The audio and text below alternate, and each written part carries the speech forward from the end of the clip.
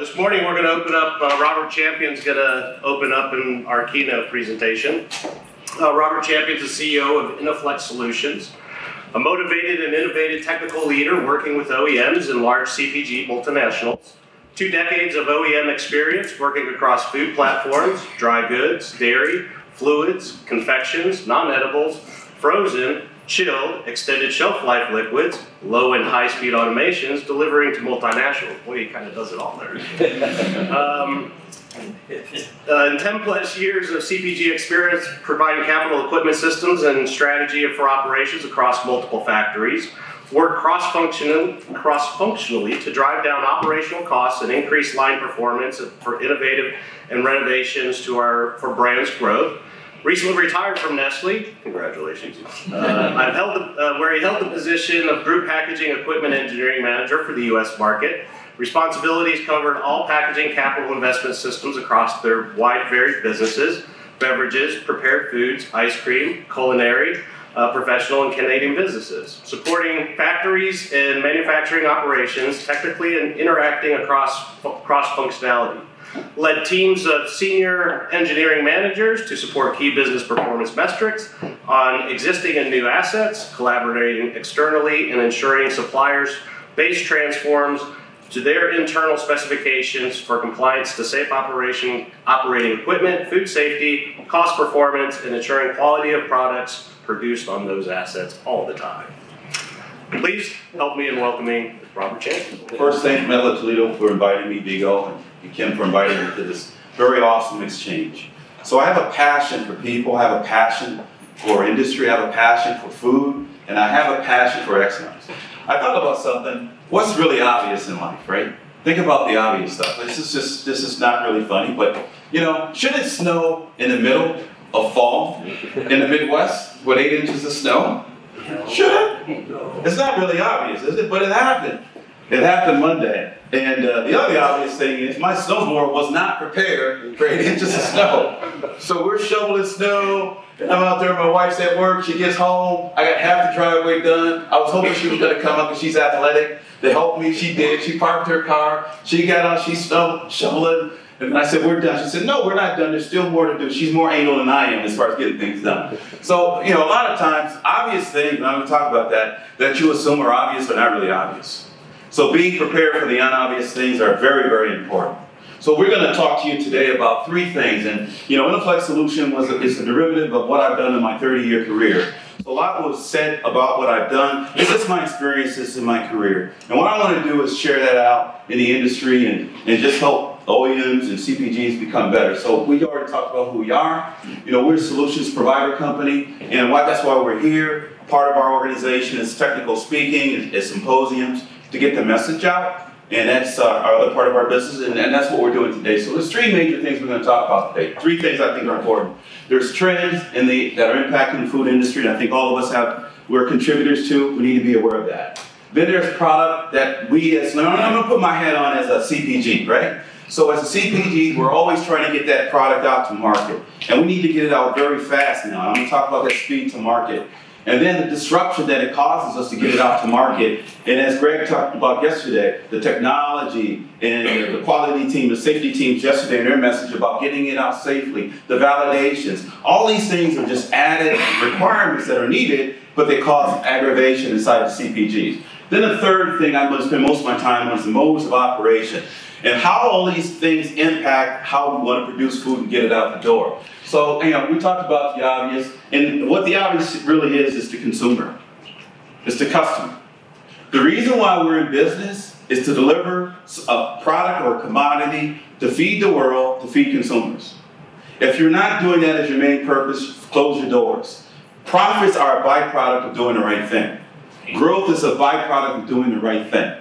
Yeah? So now I'm going to talk about a few companies and, and as I drive through this, but consumers and, and customers they're the king. Yeah? So Walmart, the Kroger's, the big retail stores, and the Amazons, they're the customer. Let's call them the customer in our CPG world. The consumers who they serve. We are all consumers, yes? And I'm going to say there's three main norms in this whole paradigm that we want to talk about. And they are harmonizing the supply system. So you've heard about technology, blockchain, and the Internet of Things, and digitalization. At the end of the day, it's about ensuring good food from being produced to the store shelves and doing it on time, on budget, that tastes good, that meet all the internal drivers of an organization. So that's what the technology means to me. So when a, when a uh, customer comes into me, a, a commodity supplier, equipment supplier, my first question to them is, what's your value proposition to help me win? And if an OEM does not know their value proposition, they need to go back and rethink about why they should do business with a big CPG. That's the very first question I ask. Not price, not your sales stuff, but what's your value proposition? So let's talk about vision and mission statements.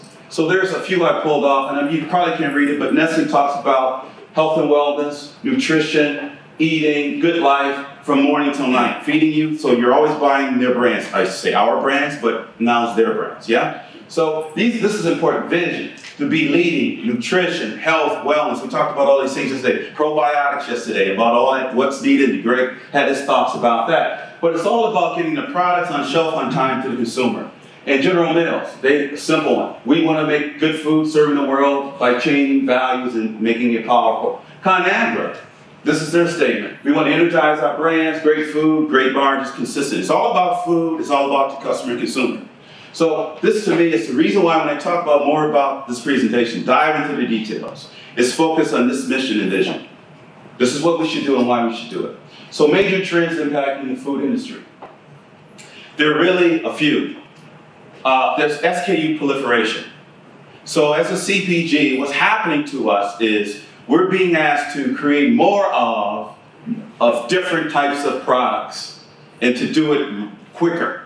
Yeah? And to do smaller sizes. So instead of running continuously for 200 a minute, we, we need 50 a minute, and we need to run a small batch of those that, that run per day. And the factories and the lines were never designed to run that way. And the people that run these lines are aggravated because they just want to come in, clock in, turn the machine on, have no downtime, keep running, and be excellent. So SKU proliferation looks like this, right? So it used to be you get one product, now you've got these other derivatives of that product that you need to run and, and you have to manage for that. The other one is smaller SKUs. So traditionally, it's used to be bulk build for brick and mortar, get it out the door, shipping cases, deliver it out, and, and everybody's happy. Well, Walmart Kroger now says we want smaller size cases. We want this many in a case. And we want to only put this on the case one time. We don't want to take it to the back of the store, have labor bring it back to the floor. They to reduce their labor costs. And we want it on the shelf so when we put it on there, it's already in the right configuration. Yeah? That aggravation to a CPG means that on the front end of their factory, where they produce the product at the same rate, they're not throttling that down because it's an aggravation to the processing. They have to add more equipment on the packaging side to take now smaller pack formats in factories that were never designed to handle more lines. Compounding that is safety. So now you talk about safety of people, logistics of getting materials into that factory. You talk about all your components that you sell, lots of CPGs, X-ray system, metal detectors. It just creates a maze on the floor. So all this is being pushed down because who wants it? The consumer. Consumer is king. So to play with them, these are the things you need to do. So you look at the Nesquik brand, I just threw it up there. Yeah, it used to be a case of them, now it's a case of two, a case of four, a case of six. Display ready case, being on the, on the, on the uh, dry goods shelf in a certain format, a different case style that did not exist. So you've got case material development, you've got product downsizing, and then you've got the equipment proliferation of trying to fit it in. So, and then you've got co competition and compressed cycles. This is a real challenge for CPGs. So the store reset shelf cycle in most, you probably know this, used to be like July in most traditional stores, retail, uh, twice a year, something like that. We've been told it's almost, it's, it's moving quarterly. So that means your equipment sales to us needs to be faster. You need to compress your internal manufacturing. You need to disrupt yourself because the consumer is disrupting the whole, whole ecosystem. What do you think? You think that's true, or you think I'm just blowing smoke? that's a question. What do you think? Sounds true to me. Are you impacted by any of this? Does this have you been impacted by any of this? Yeah.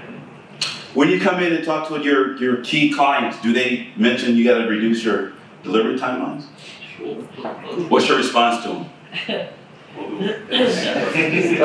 we'll, we'll do it for. That had changed for twenty years. Hasn't. I don't think I've ever had a machinery where somebody said, you gotta do it faster. Yeah, good stuff. Uh huh. Okay. Well, this is the real world. It's, co- it's competition is, is really, and I'm going to talk a little bit about that to the other slide. So you've got in, in this aggravation of new food forms being launched, that big food companies are trying to play in that field. And the way that we do it is we either buy those companies, we, we, we, we, we do a partnership with them to, to learn, let them incubate, let them do what they do well, and we upsize and bring them into our main factories and launch. And I'm going to talk a little bit about that. The other one is I'm going to call the QOR, uh, uh, cost of quality, um, revenue, cost of revenue, quality of their revenue, and, and the TCO, total, uh, total uh, cost of ownership.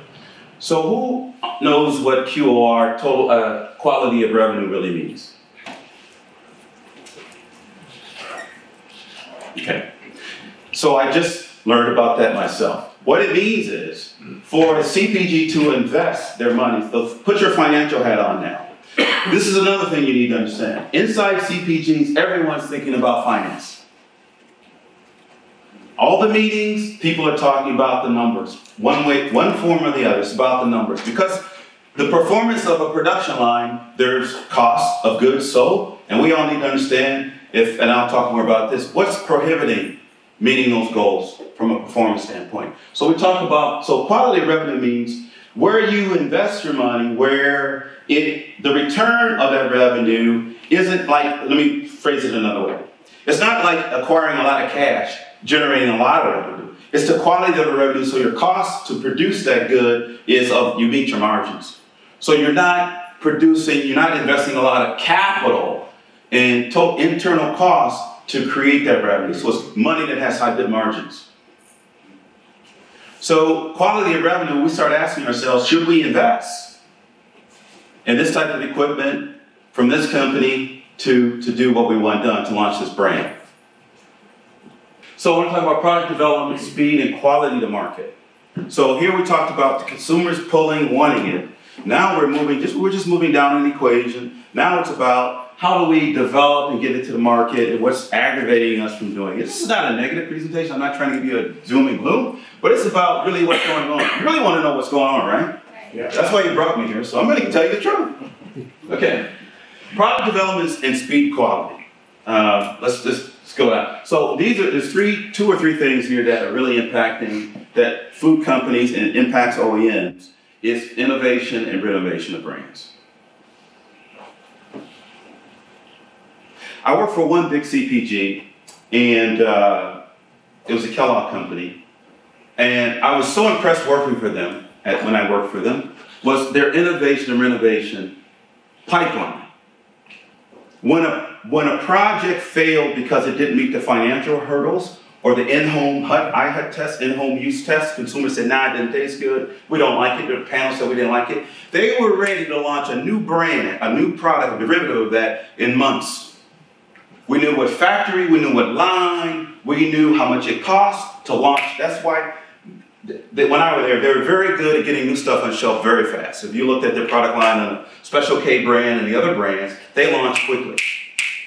Not everybody can do that. Um, so brand innovation, renovation, so they always had the consumer engaged. They kept like an engaged consumer. I just pulled this off the internet. You see things like this with a pouch with some, looks like you can heat or warm something up with a straw in it. Maybe that's coffee, maybe it's some beverage, but there's some unique things happening. But the most important thing is the pipeline here. So if you look at this pipeline, this is how it really works. There's a lot of stuff going in, there's stuff coming out, but a lot of stuff coming out doesn't stick. And I'll talk about why it doesn't stick inside the operations. The next is food development. So we're all impacted by this. I, I love this next piece here. So you talk about plant-based foods, right? Okay? You talk about who, who likes plant-based burgers? Have you tried them? Who's tried them? Okay. Who's tried the, the, the, the Whopper from Burger King? What do you think about that? Tastes just like it. Uh, Okay. So, so I had a colleague of mine, true story, I won't mention the company's name, that came up and we had these annual, these frequent visits. He said, let's go out and let's have a burger. And he said, uh, by the time, he said, before I left, he said, by the way, it's not a beef burger. I said, oh, okay, okay, I'll go, I'll try it. So he said, it's a, it's a veggie-based burger. And I was a little, ah, man, I'm hungry, you want me to eat some? I don't like the vegetable stuff. It just doesn't taste good, the, the old stuff. So I had the, the, the, burger. It was cooked at a gourmet restaurant, a little one of these specialty restaurants. And I couldn't tell the difference between that and a beef burger. So that turned me on from that point on. So I started selling the message to my mother, who's a diabetic, you know, help her eat better. That mom, why don't you try this burger opposed to there's another company, I won't mention their name, that's been on the market with plant-based burger that tastes like a frozen burger, which you don't want to eat. So what I'm getting at, so here's the deal now. I'm giving you a long story to say that you got Impossible Burger, you got Beyond uh, Burger, and Nestle just launched this. I forgot the name. It's going to launch in January.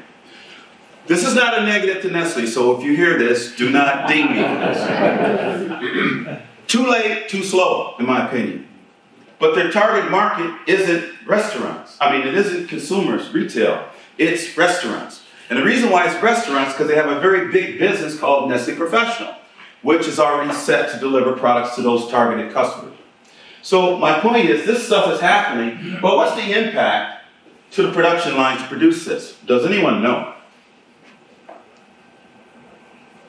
Is the density the same? Is the food form and processing the same? Is the packaging the same? Are the oils inside the food, the fat the same? Does it seal the same? Does it behave the same on equipment? No. So again, and I'm going to show you a very interesting slide. The impact to performance of the consumer, they want it, if we can't get it on the shelf, what good is it? The other one is product development, speed, and quality. We talk about packaging formats. this is a, a big disruption here also. So I led a team at Nestle. Uh, Walmart came in last year, last year, 2017. They said, we want display ready cases. We want so many in a case, and we want the machines like less than a year. So the OEMs that we bid it out to were like, how are you going to do that? More importantly, we didn't have a case design to meet the requirement. So we're, we're doing parallel engineering, material development, case, just, you know, case uh, material development, machine to be able to do it, turning the, the, the cartons a certain orientation because the facing had to be presentable in the case. So anytime in packaging 101, anytime you leave, don't handle the product, it's, it's at risk for jams or inefficiencies. You want to keep control of it all the way through the process. But when you turn and do all these other things, you induce a, a potential downtime, you guys. And your throughput goes down. So just a little bit. So e-commerce and omni-channels, I'm going to talk about that. That's another a big player. How are these companies going to deliver to brick and mortar, deliver to a specialty channel, deliver to uh, uh, e-commerce out of the same factories and or the, uh, their co-packers or co-manufacturers. And deliver the packaging with integrity at the same time being sustainable, reducing material. So there's a lot going on in this space. This is interesting. This is a manufacturing, not just something, this is really, this, looks stupid, doesn't it? But originally, this is called this manufacturing facility where you produce product, uh, production, processing and, and packaging, it traditionally has a, a clear path to, to where we're going to go next, which is the factory, warehouse, distribution centers, customer stores, out to the supply chain. Traditionally, it's easy. This is what's happening today. We're being impacted by e-commerce, different packaging formats, so we talk about smaller SKUs. We're also being impacted, as I said earlier, by innovation, renovations, sustainability, and packaging materials. There's a lot of development around pack, smart packaging. I was talking to the young lady here, we talked about smart packaging and the impact of that, traceability, uh, food, uh, helping food, uh, the life, understanding food better through packaging by giving off some, some indicators that something's going on in the packaging. All right, so there's a lot going on uh, that we need to consider. But this is really today the new world. This is where I live day to day. The new disruption is if you want e commerce, here's how it really works. I'm going to summarize it for you. So I've got a production line that runs a dedicated set of SKUs, and it runs at a certain speed. Now I want to run e commerce, which is small quantity packages. Where, how am I going to get it off the line and get it to where I want to produce it? So a lot of them use the word parent child. So what we've looked at, one of the major projects I had before I left, was to look at how we can get play into these other areas of distribution and what that playbook looks like as far as equipment lands. So if we talk about, let me give you some technologies that the CPGs are looking at. So depending, I will use a brand called, uh, I won't mention it, but just frozen foods or meals. Those factories are older, there's dedicated paths from like the freezer to packaging. And there's some reasons why you don't take the product off the line in certain places. But to do e-commerce, you got to take that product somewhere get it from up a level up above the floor where it's probably coming out of the freezer down to a location you're going to put it either in WIP and do repacking. Now it's frozen now in a controlled environment in your factory, or you're going to put it on a reefer or something and send it to a co-packer to do it. So here's the situation. So what happens is you have to be creative. And this is where it causes unplanned downtime and aggravation to production. Right? You need to be able to take the product and put it in a WIP. And here's where technology takes place. You say, can I do this with manual labor, the repacking? Do I use robots? Do I use cobots? And what about the safety of all that? Do I make it a mobile line, a modular line? This is when I talk to OEMs. Do you have the capability for some modularization for a CPG to act like a co-packer? Nimble, quick, because we can't get the shelf unless we, we start thinking like they do. So we, we came up with some, some, some solutions looking at these technologies, and then the price of entry isn't that bad anymore. To get in the game isn't that bad. So let me give you another story. Suppliers coming in to offer me solutions in this space were very few. There are companies that sell robots, they sell cobots, they sell conveyors, but no one was able to come and say, this is what it looks like for you. Understanding the way our factories run, the way our people, how they are trained, how our processes operate. There's some unique processes in some of the food manufacturing facilities. But there's a space where no one's really coming in and helping us as food companies really understand how we can win with consumers in this disruptive space. So again, this looks crazy, but this is kind of some of the older factories are like this. They go around things, they go up, they come down. But again, this is really what we need help. CPGs need help from companies like that are sitting here. And your expertise in food safety. You know, it's you know, how can you we do this and be have quality food, safe food, safe people running these pieces of equipment and make a profit? Does that make any sense? Or am I all, all over the map here? So, so are you saying that the decisions that the decisions would be made uh, not really at the OEM level, but more the integration company or the engineering company that can take the whole entire project and take all the OEMs and put them together and make that line work, or is it is it not as sexy as it used to be to work directly with OEMs? Are you saying, kind of? Well, this in the real world, there's gaps seen with uh, just when I canvass different companies, there are gaps with talent. Yep. There are people retiring, and it's not to fill that gap, pull back the right talent. It's not easy. Uh, there are not a lot of people coming back in traditional manufacturing. They want to do some of the programming and coding, but not so much the, the integration. But I, I say there's opportunities for integrators and OEMs to, to get better integrated, talk about that, and to go to an OEM, excuse me, a consumer food group company and, and provide some solutions. The very first thing I would say is understand how the factories operate. Does that answer your question? Yes. Modes of operation. To ensure food safety, quality and production lines need to not stop. Good luck. And the reason I say that is because, Listen, it's because of the rapid changeovers, the sharp SKUs. And. those are the- planned. Even if they're planned, they're, they're a cost. Yes. Because then you gotta clear line clearance, you gotta clean, you gotta do all the things to make sure that the next one you produce on that line is the quality you want, not the quality of the last one produced. Exactly. So you're exactly right. So when you go through any interruption, but an unplanned, which is a breakdown event, which is an abnormality that you don't, you're not aware of, you have no controls over, that are impacting your line. We know from data that we've seen quality issues because of unplanned interventions and all maintenance interventions to get in and clear jam, tools and things of that nature, grease on tools and over primary un, primary packaging before it's a seal on it or in a carton. Yeah, that it induces potential for and people not thinking top of mind, get it in, get it out, keep that line running. So line stoppages to zero. This is a dream. It's like you gotta have zero. You have to go for the gusto. Line to zero. Align modes of operation. This is the one I think gets most of uh, OEMs in trouble. If I leave with anything today, I'm going to ask you to really go into your customer and you ask them, what are your modes of operation of your production line?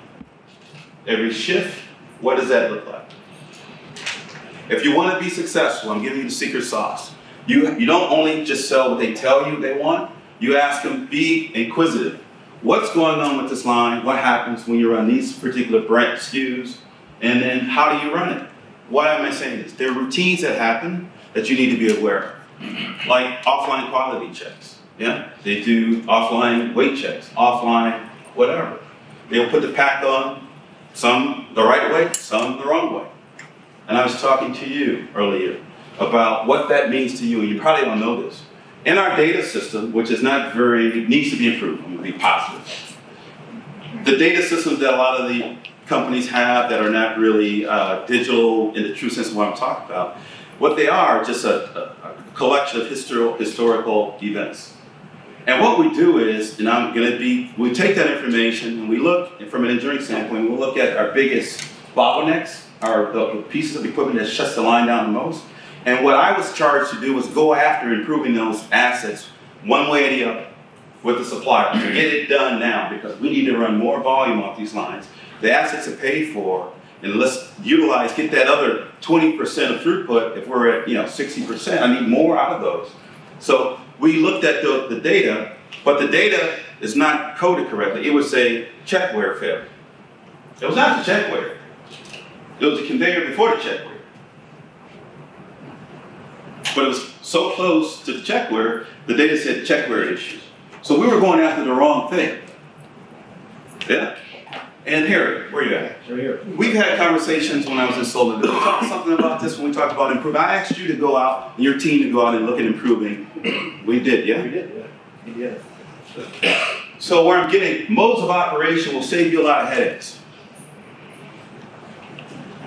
Hmm.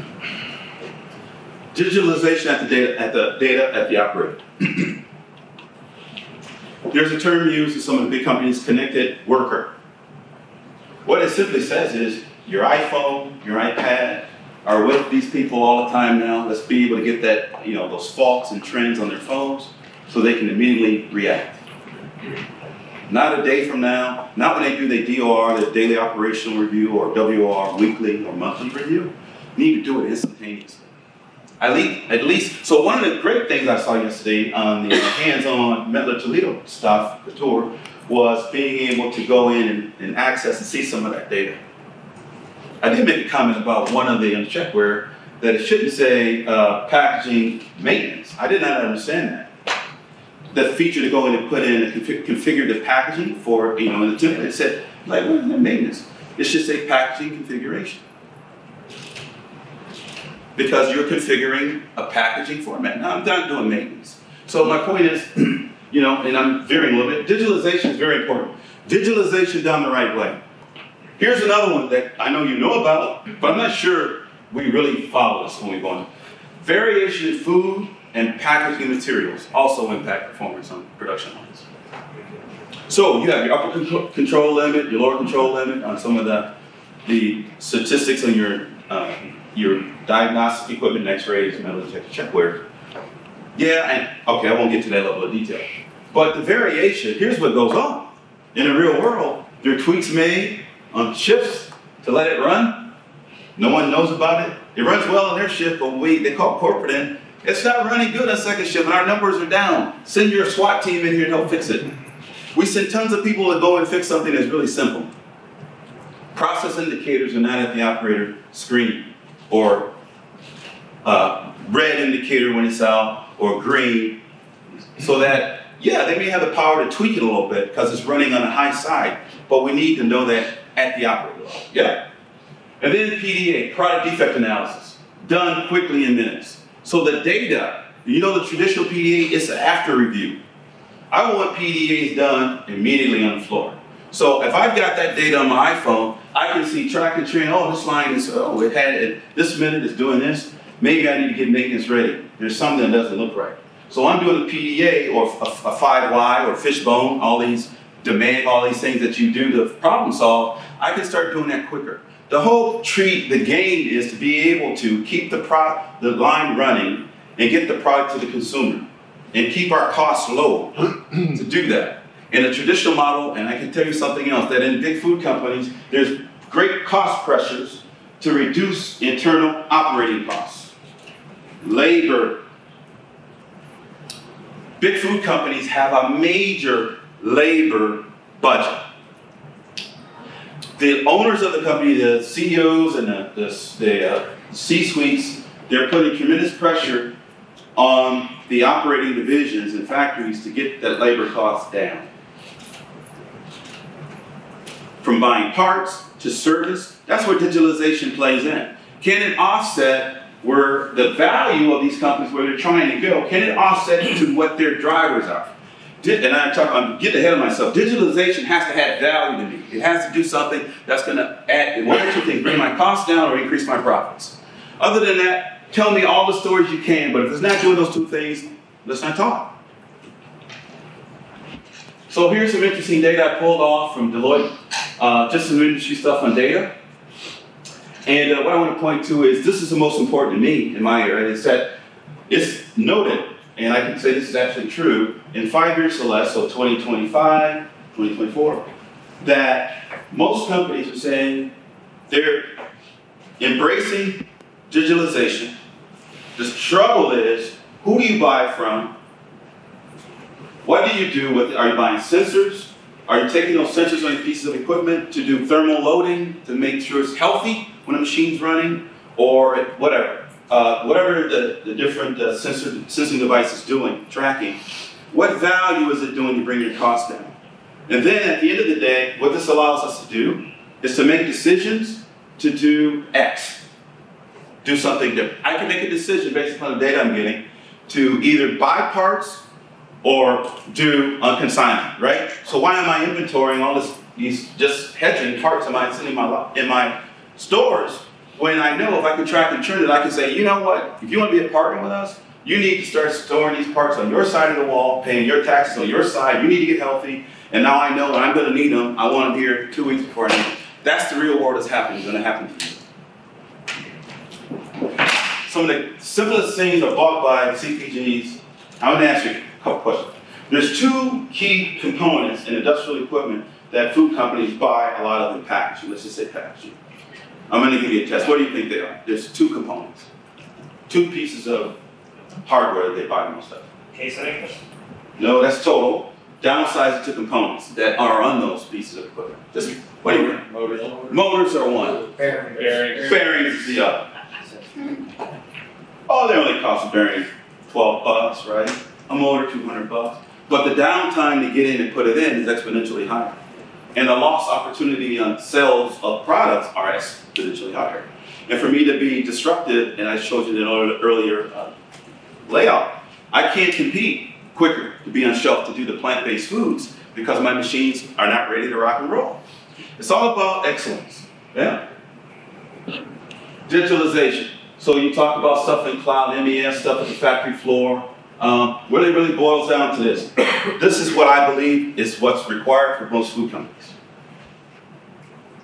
You need devices that can tell me what's going on, real-time monitoring and feedback. I don't need everything up in the cloud. I need it at the floor level, on a PC on the floor, and that same data replicated back on my phone.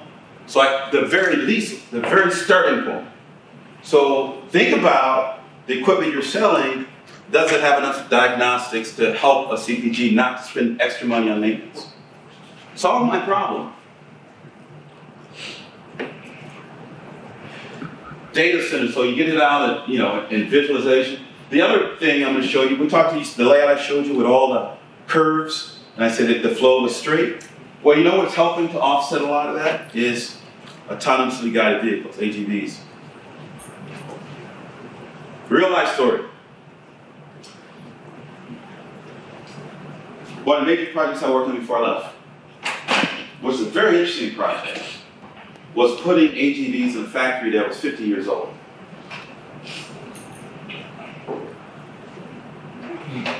Not designed for it, no room. And I won't talk about the process, but there's a certain process that would bring certain, there was batch mode, bringing this product out this time, do something else. So you had a lot of forklift trucks. You had operators with forklifts running around the floor, floors are uneven, congested factory, and someone said, we can save money. We're not reducing labor in the sense, but we're going to utilize the labor where it's value added by putting smart robots on the floor to carry some goods to the production line. We like, wow, are you serious? The floor is uneven, it's a, it's a dairy brick floor, there's water on the floor. But you know, by working with that technology company and understanding how they do it, and success stories and walking through it with them and our modes of operation, they were able to push that project through with a hurdle rate for payback. Untraditional.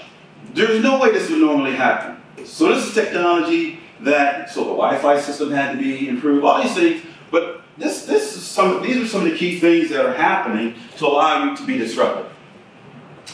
So modes of operation digitalization. This is my, my one statement I want to leave you.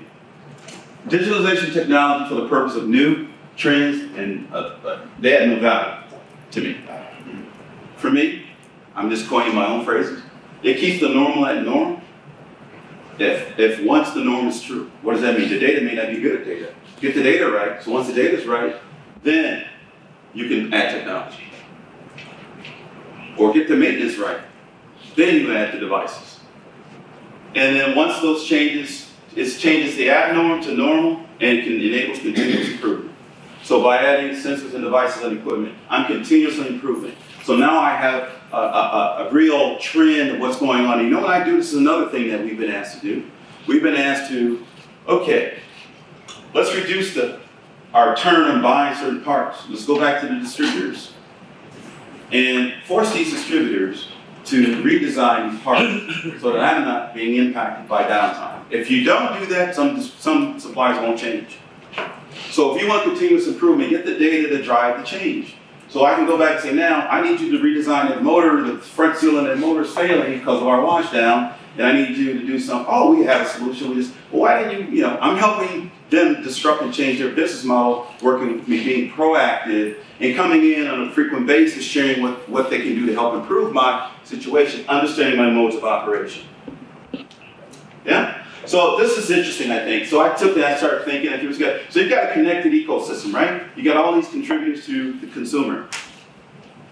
And I won't read the text underneath, but there's some value things that they're driving. Differentiation, different, differentiation on shelf, lower costs, technology, consumers are changing, baby boomers, etc. All that's happening. This is the real world. There's a missing component here. There's a lot impacting the business. A lot impacting their business. The missing link that what happens are these are the abnormalities that happen day to day, right? Errors in omission. I read a, a census, a U.S. Census uh, statistics, and I'm quoting, hopefully I got my memory right here. The, the capital capex spend globally for capital equipment, whether it's food or industry, is almost a trillion dollars. It's 2017. You can pull it yourself, right? 970 some odd billion. For used assets, it was like 53 billion. No, that's great for the economy. The compelling part to me that impacted me was there was $7 billion annually in errors and omission. That means what you bought, someone made mistakes on both sides. Food companies, the suppliers, OEMs, the integrators, everyone we're making mistakes because let me give you another norm that's an abnorm. the expectation is 100% of what we buy. Now, I can just speak. We expect vertical startups. What do you think the percentage of vertical startups are? And Glenn and I talked about this last night. Are for food companies. What do they say they are, or what, Percentage. what are they really? I know, but you, what do you think they are? I, I still have a relationship with Nestle. I can't, you know. I'm not tell you. What do you think? Twenty, twenty-five percent? Hmm. Anyone else? Two percent. Come on, be real. Come on, what do you think? We- Nobody would be in business if that's the case. We need to fire everyone. What do you think? Big O was close, but it's a little bit higher. It's not that low. Depending on, I don't know what the industry average, I'm gonna tell you what the range is probably 40, 50 percent. This means that the money that your organization is saying, we want to invest in, in shareholders and you have stock in companies, they're trusting you to deliver and you're not delivering to them on what you invest into the best in your organization. That's not even the worst. Seven billion on almost a trillion dollars. That's not even the worst. It doesn't cost, take into consideration the lost production, lost sales. So what I'm saying is the ecosystem, and I think I'm done, is uh, we all need to uh, contribute. The last slide I had on there was a fun one. So Milton Berle said, he said, if uh, if a door basically doesn't exist between you and the people you're working with, create that door. Create that opportunity to have these dialogues. So if a CPG is not giving you enough information, create that dialogue. You need to be armed with what to go in and ask and say. So the secret sauce I gave you was go in and ask me what, you know, great to have this order, but man, can, or woman, what's it, what's the modes of operation? Tell me more about it. I want to be a strategic partner long term. I want to know what you're going to do on your omni channels. What's your strategy? It's not confidential, they can tell you. Because you're asking to dig deeper so you can be a more effective partner with them. Yeah? So if the door doesn't exist, build one. So one of the reasons why, you ask me, well, why did you retire? Are you crazy? Why did you do that? You look like you could still be working for somebody. Yes, I could. The reason why, and this is a fact true, a lot of the companies we work with coming in, we were repeating the same problems over and over. And it's like, wow, you know, let me try to go out and fix it. One man, one company can't, but the goal was, let me go out and try to impact and share that message about what both sides need. And for companies sitting here to be better, you got to create that door of opportunity. You got to go in a different way. You got to go in talking total cost of ownership, modes of operation, omni-channel, and hear what their problems are. Then go back and think about what can you do on your R&D side to play in that area if you're not in that R&D side, or would you be there if there's a big enough market for you to go and invest to help us solve those problems, and you will win. It's not on price, it's on TCO that you win.